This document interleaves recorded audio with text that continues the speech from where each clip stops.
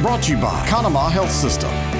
An injured person can die of blood loss within five minutes. That's why it's important for bystanders to know what to do. Dr. Russell Dumire, Medical Director of Conemaugh Memorial's Level 1 Trauma Center, explains about a new educational program called Stop the Bleed. We want eight or nine out of 10 people to be able to kneel down, put pressure on the bleeder, apply a tourniquet if they have one, and basically stop bleeding within the first 10 minutes of its starting. Conemaugh is teaching the Stop the Bleed course in schools across the region. Not only are we teaching it, but we're providing the tools that they need in the field as well by providing these hemorrhage control kits to public schools and public areas. People with the appropriate knowledge can use the tools to, to basically save a life. To learn more about Stop the Bleed, call 1 800 587 5875 or log on to conemaugh.org. For Health Break, I'm Amy Bradley.